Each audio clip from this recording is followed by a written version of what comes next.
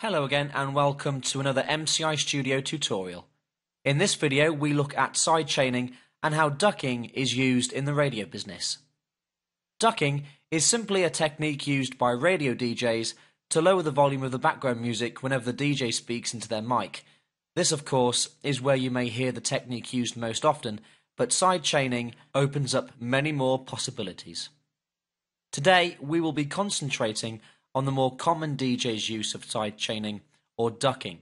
First, let's hear the final outcome and how it should sound when done correctly.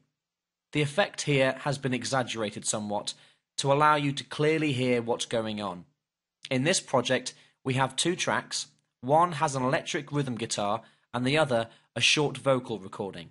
Notice how the guitar's volume lessens as I speak. Welcome to MCI Studio, your one stop site for all your musical needs.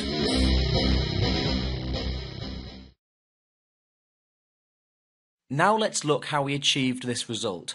In this project, we have the same two recordings, but with less effects and without the applied sidechaining. The core element behind the ducking effect is using a compressor. For this example, we will be using the PC4K S-Type bus compressor that comes shipped with Sonar X1 Producer. The mechanics behind sidechaining is using a track's input level to determine how much gain is reduced on the compressor's output level. So in our example, we will be using my voice's input level to determine how much gain is reduced on the guitar track using our compressor. The first step to achieve this is to add our compressor to the guitar track. So after selecting the track, we open up our side pro channel and making sure our compressor is the PC4K S type. After that, switch the button to apply our side chain. Experiment with the threshold, attack and release to get the desired effect you're after. Then, we need to link our voice to the guitar track and its compressor.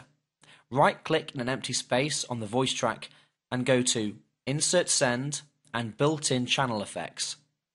Make sure that it is switched on and then play back your project to hear if the desired effect has been applied. Welcome to MCI Studio, your one stop site for all your musical needs.